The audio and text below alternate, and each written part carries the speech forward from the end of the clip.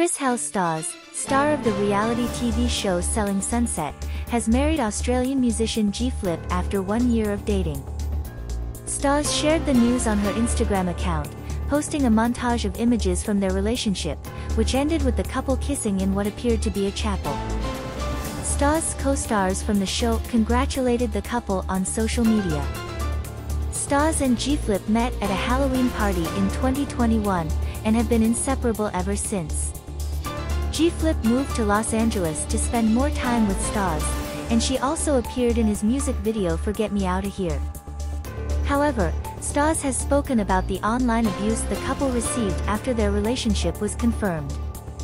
She told Vogue Australia that there was a flood of trolling, and that they received hundreds of puke emojis and midlife crisis comments.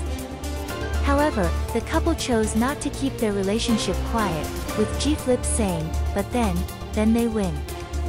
They quiet you and take your voice.